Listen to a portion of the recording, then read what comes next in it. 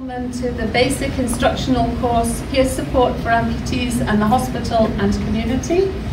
Um, the session will run from now until 2.15 and uh, we'd like to welcome you and thank you for your interest in peer support.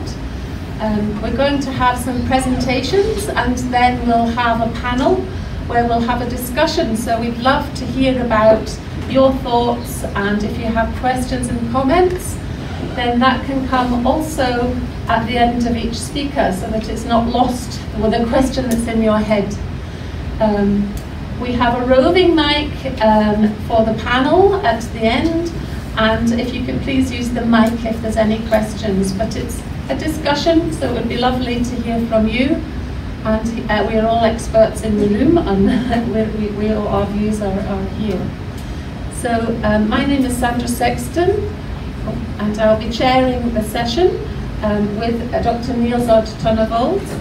Um, the objectives of the session are to develop an understanding about peer support and really to learn about best practice in Germany, Norway and France and then to consider what peer support services are needed, what's available and also what's effective. Um, our work has been long um, in all of the different amputee associations and experts that are here today. Um, and that culminated in the International Confederation of Amputee Associations and Dr. Tonnevold being engaged in the development, in the standards development group of the World Health Organization standards for prosthetics and orthotics in 2017. What we are doing now is that we are promoting and rolling out implementation of Standard 53. And I'm going to quote the standard, peer support and counselling should be available to service users as appropriate.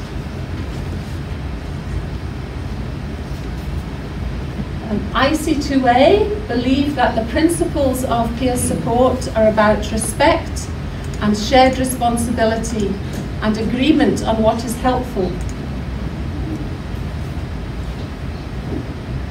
And our definition, before we move on to talking about peer support, in terms of our International Confederation of Amputee Associations, is that, and again I quote, peer support is a way of giving and receiving help based on the key principles of respect, shared responsibility, and agreement on what is helpful.